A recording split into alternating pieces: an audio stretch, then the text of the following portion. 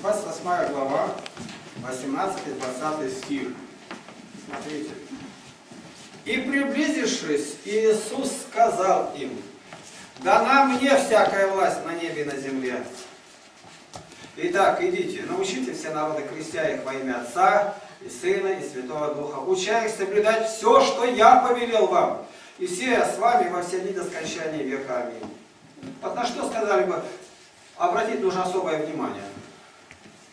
Приблизившись, Иисус сказал, ну приблизился не он, все равно всегда к нам близко. Думаю, это не главное. Что ему дана всякая власть на земле и на небе, на если Бог, и так понятно. Сатана говорит, дана мне власть. Он лжет, как всегда. Я нахожу главные слова, которые должны нас коснуться, на которые я могу конкретно ответить, принять участие в исполнении этих слов. Следующее. Приблизившись Иисус, ну как я могу? От меня не зависит ничего. Приблизиться. А вот идите и научите все народы. Итак, то есть то, что я сказал, вы знаете, все принадлежит мне, и вы идете не на чужую каноническую территорию, а на Господню. И те, которые говорят о канонической территории, они лгут на эти слова. Христу принадлежит не попам, не епархиям. Мы ведь невнимательны. А если были бы внимательны, то самое маленькое, незначительное, что делает с нами Господь, могло бы послужить для большого дела. Сказал, а почему так сказал? А это может быть знамение, а может Господь меня предупреждает. Не надо ждать, чтобы персты Хри Христову появились, и неизвестно чьи, и написали «Мене, мене текалу парсим». А представьте, что эти персты появились бы здесь на алтаре. Мы-то думаем, мы православные, у нас все как надо. А вот я говорю об этом, что может случиться воровство. Двери даже на оружие у прихожей вот здесь вот не закрывается, а тут крючок из гвоздика, с 70-ки, один. Даже смешно даже, ребенок оторвет. Но случилось это воровство. Узнали, утром пришли, да обнаружите это через неделю, потому что никто сюда не заходит. Самый близкий староста живет через дорогу. Он целый день парится на поле, ему до этого тут охранять. И вот зашли, все разорено, ничего нету, ни рис, ни чаши, ни крестов, ни икон, ничего. А одни надписи. И Господь бы сказал, и ничего постороннего впредь не заносите сюда. Я знаю, как отнесутся к этому священники. Но мы можем это вообразить? Господь сказал бы, я вам не повелевал то, что у вас есть, а слово мое оставили. И большая Библия лежит там на алтаре. И священник стал бы опять старое все. И Господь бы предупредил его, как Илью. Последний раз предупреждаю. Если еще будешь заносить то, о чем я не говорил, я убью тебя. Он заносил бы, священника убили. На его место другого. Другой бы побоялся. Семерых бы убил Господь, восьмой бы не пошел. И сказали, чтобы одна Библия лежала. И тогда бы до всех дошло. Это делает Бог. Но пока этого нет, мысленно хотя бы вообразите. Спросят, а как ты бы реагировал на то, что вот у нас обокрали алтарь? Если бы выводы сделали правильно, я бы отреагировал так. Да будет. Чтобы никуда не отвлекали, чтобы все кадилы, угольки вылетели оттуда. Я православный, я все принимаю. Но ведь может быть по-другому, Бог терпит, терпит. Долго, говорит, да крепко бьет. Бог может явить свое знамение именно с нас это начать, потому что мы молимся, чтобы не быть упорными. Вы же молитесь. И Бог услышал, и решил нас проверить, и решил нас от ненужного избавить, а ненужным нашел то, что отвлекает. Вы видите, как когда я говорю Слово Божие, мне священнику выдавливает, уже крест подает и в это время говорит. То есть места нету проповеди вообще. Это все не случайно. А если я не выйду, не говорит, никто не охнет и искать не будет. А чего? Служу справили все как положено. Да ведь ты по слову-то Божьему посмотри, сходится все у нас или нет. Второзаконие. 24.8. Смотри, тщательно соблюдай исполняй весь закон. А впереди читали. Вы сейчас соблюдать все, что я повелел вам. Я на это давление делаю. Я повелел. Вот сейчас бы стал Господь и стал нас прямо оттуда подводить и сказать, я велел тебе и показывал на все. Но если я Библию знаю, я бы сказал, Господи, этого нет, но это же не против. Так.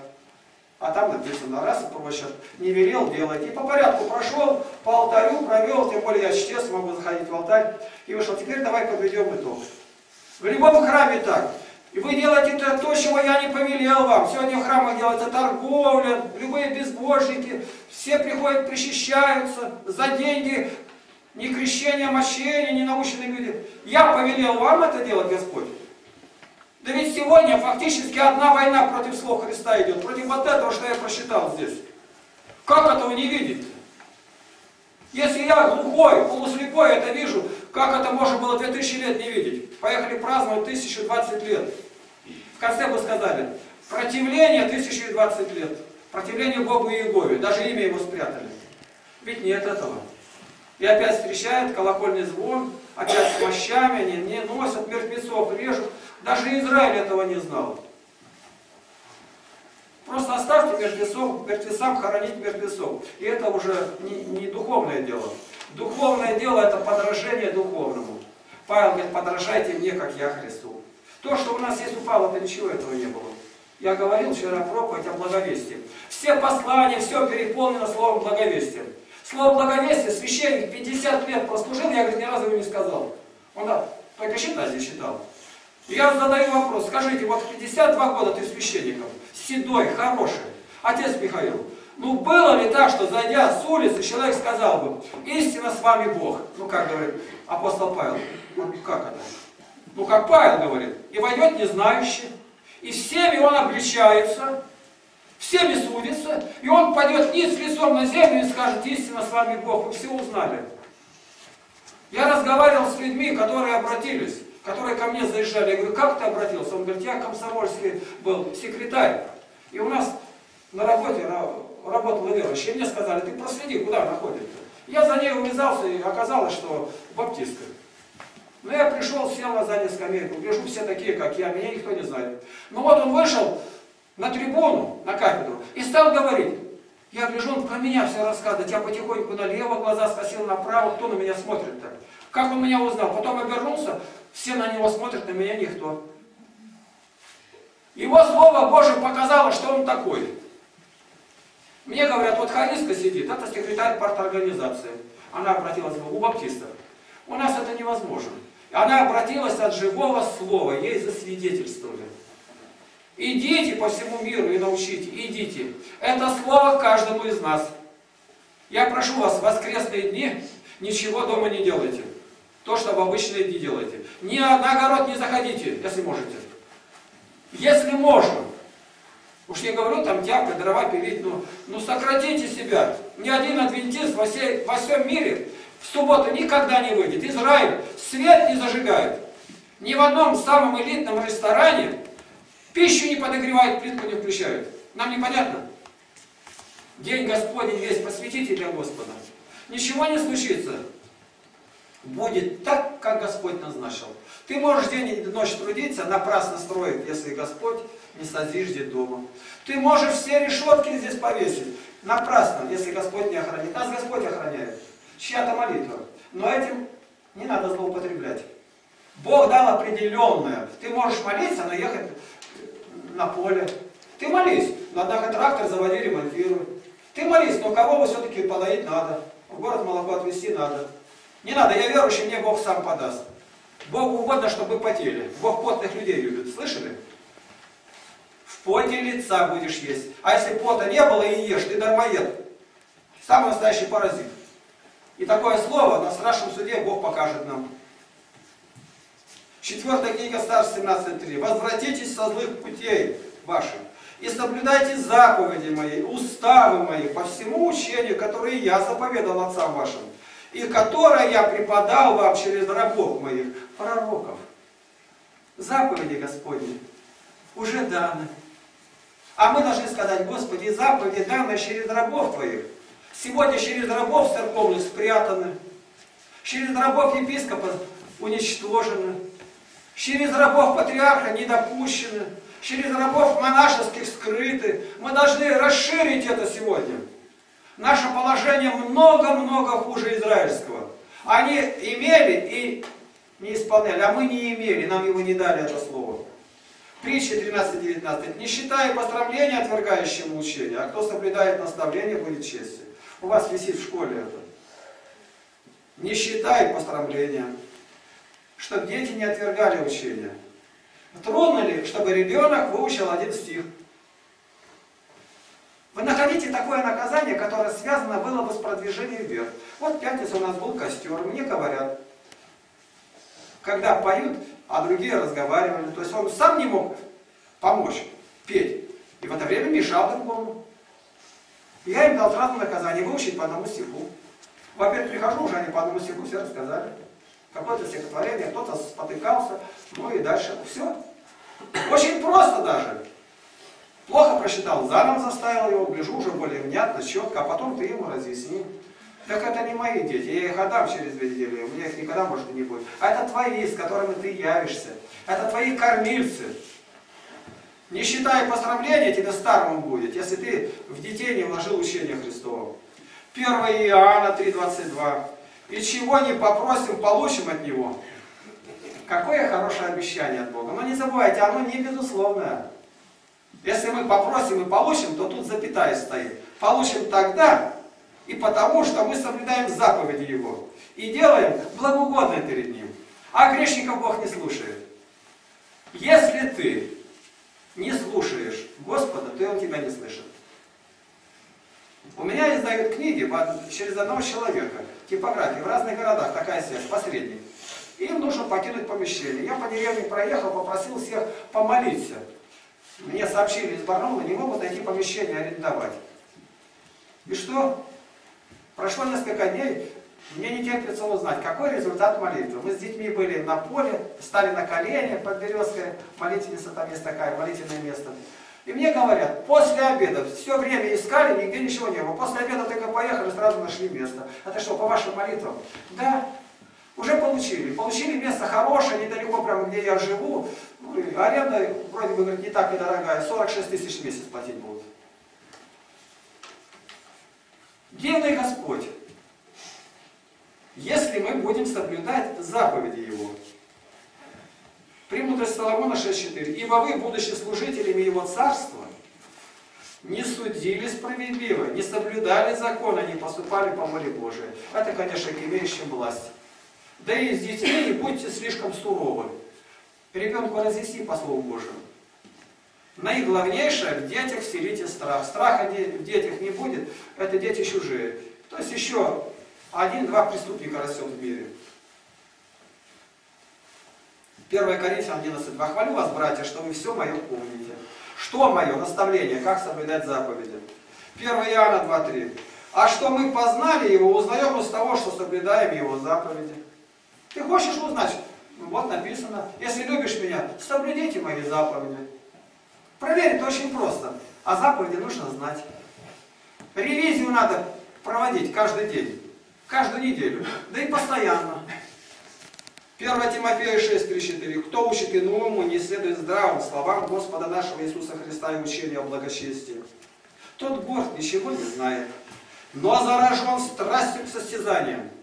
Он все время будет спорить. Упорное сердце, оно всегда противится словам Господним. И Павел говорит, 2 Фессалоникийцам 3, 6, 12.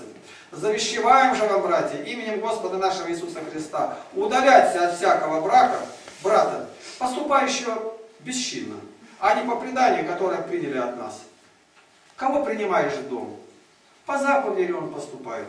Кто бы к вам ни приехал, если человек не враждебный, приглашайте их на богослужение, зовите. Им это никак не будет во вред. Мы где бываем в городе, мы посещаем и баптистов, и адвентистов, и даже к мусульманам ходили, к католикам. Я ни одного посещения не могу назвать для себя вредным. Я знаю истину, можем побеседовать с руководителем, полезное взять у них. Мы обладатели всей полноты истины, хотя она нам дана. Деяние 20.20. Как помните, как я не пропустил ничего полезного, о чем вам не проповедовал бы, и чему не учил бы вас всенародно и по домам не упустил ничего. Сегодня эти слова, прощаясь, священник может сказать, и запомните, я ничему вас не учил ни в храме, не ходил по домам. Мы все должны перевернуть сегодня. И он должен сказать, что кровь ваша на мне, на детях моих. А сегодня-то они не понимают даже эти слова. 20 глава Деяния апостолов, это глава приговор сегодняшнего священства. Деяние 27 стих, 20 глава. «Ибо я не упускал возвещать вам всю волю Божию». Значит, ее можно упускать, а можно не упускать. А чтобы волю Божию возвещать, ты ее должен очень хорошо знать. И сравнивать с тем, где ее упускать. И скажи, результат такой здесь, а вот здесь такой. Как дети относятся к скотине, к птице, ко всему. Я о чем сказал тому, кто загоняет овес, расчет сделайте сегодня. Чтобы он понимал, это имелось и у него внутри юридическое обоснование его греха. Что он за это должен рассчитываться. Колоссянам 1.28, которого мы проповедуем, вразумляя всякого человека и научая всякой премудрости, чтобы представить всякого человека совершенным во Христе Иисусе. Совершенный человек, преображенный в Духе Святом, он войдет в Царство Небесное. Я не упускал, Павел говорит, ничего. Если упускал и не проповедовал, не вразумлял человека, и не научил всякой премудрости, то и не представил человека пред Господом. Результат один. Ты не знаешь заповеди, ты нарушаешь, нарушаешь, погибаешь. Просите Бога. Каждый. Господи, дай мне заповедь Твою, как основу дыхания моего. Не сяду за стол, пока не прочитаю хоть несколько стихов Священного Писания. Поставь себе. Просто один ты дома или где-то. Библия, чтобы лежала на столе. Так я не успел прочитать некогда считать, все, пошел без обеда. И ты увидишь, как положение сразу изменится. Начинайте работать. Я понимаю, спать охота, трудно бывает. Поставь задачу, днем не ложиться. Как бы трудно ни было. Я прошу, но пока упорствуйте. И здоровье ваше ни у кого не улучшится от этого. Бейтесь. Я опять обращаюсь к опыту. Я сижу в камере, а там день и ночь горит лампочка, крутятся все. Я ни разу в течение года не лег днем. А вставал на 2 часа раньше, в 4 часа. Ни разу. Падаю. И сам себе говорю, негодник, какое ты имеешь право ложиться? Поезда бегут, охранники охраняют, солнце восходит. Ты пришел исправиться. Ты преступник, тебя держат здесь. Ты должен выйти другим. Ты себя накачивай маленько, как говорят, нашинковый, страхом Божьим. Ни на кого не ссылайся, а скажи, я должен. Я люблю Господа. Я буду стоять ради Господа. Никогда в, храм, в храме зря не сяду. Но есть больной, тому и положено сидеть. Откровение 22.14. Блаженны те, которые соблюдают заповеди Его, чтобы им иметь право на древо жизни. А если не соблюдает, древа жизни нет. Древо жизни к нему не имеет отношения, а без древа жизни нет жизни. И Титу 2.1. Ты же говори то, что сообразно здравым учением. Здравым учением называется Евангелие. Самые противные слова в православии сегодня, это слова, сказанные апостолом Павлом филиппийцам, подвязайтесь единодушно за веру евангельскую. А вера евангельская только в Евангелии. Вы стараетесь, с кем дружите, близкие бываете, попросите его помочь вам. И скажи, ты вот рядом живешь, видишь, что у меня не по Евангелию. В воспитании детей, в отношении к скотине, к ближнему, в работе, по отношению к мужу, к жене. Что не по Евангелию? Подвязайтесь. То есть старайтесь как будто подвяжите себя к этому. Приложите все силы, чтобы в конце мы могли сказать, Господи, я сделал все, что мог. Вот дети, которых Ты дал мне, я их привел. Вот слово, которое животворило меня. И я говорю это во имя Твое. Соделай нас Твоими благовестниками и доведи до Царствия Твоего. Аминь.